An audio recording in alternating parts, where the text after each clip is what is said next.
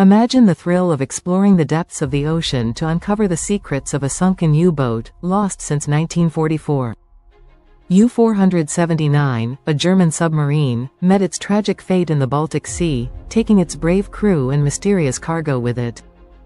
Join the emotional journey as we delve into the history, mystery, and intrigue surrounding this forgotten relic. Historical context In 1944, Germany's U-boat fleet faced mounting losses, but U-479 remained operational, conducting covert missions with courage and determination. Its final voyage began on November 26, 1944, filled with hope and uncertainty. Key players Captain-Lieutenant Friedrich Wilhelm Sohnsen, U-479's commander, leading his crew with valor and loyalty. Admiral Karl Donitz, Commander-in-Chief of Germany's U-boat fleet, shouldering the weight of responsibility. Theories and speculations Mysterious cargo. Rumors surround U-479's cargo, potentially carrying valuable technology or intel, sparking curiosity and intrigue.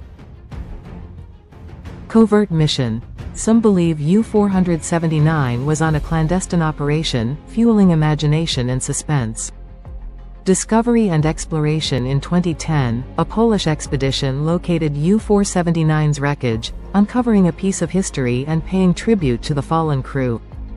Emotional connection As we explore U-479's story, we honor the sacrifices made during wartime, remembering the lives lost and the families left behind. Conclusion U-479's secrets remain hidden, but its story serves as a poignant reminder of the bravery, loyalty, and resilience of those who served.